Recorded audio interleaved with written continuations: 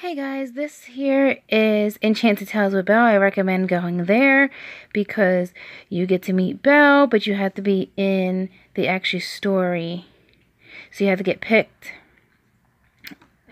Also, this here is Gaston's, which I absolutely love.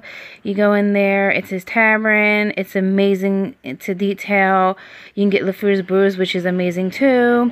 And a souvenir cup. I suggest that. The second thing here is Be Our Guest Restaurant, which is the most amazing thing ever. It's so attention to detail. This here is the ballroom. I love it. It's amazing. They also have the West Wing. Um, this here is the chicken that I got. And yes, I got the gray stuff. And it is quite delicious. The only time you can meet the beast is during dinner. And I suggest that. That's a must.